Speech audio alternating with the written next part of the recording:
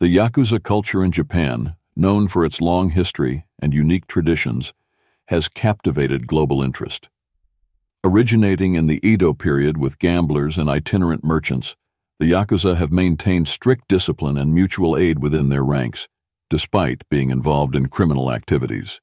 Their organization is structured like a family, with a strict hierarchy where loyalty and respect are paramount. Yakuza traditions are deeply rooted in Japanese culture, with significant ceremonies and rituals, such as the Yubitsume, where a member cuts off a finger to atone for mistakes. Tattoos are another iconic aspect, covering members' bodies with intricate designs that signify identity and status within the organization. These tattoos, however, are not widely accepted in Japanese society.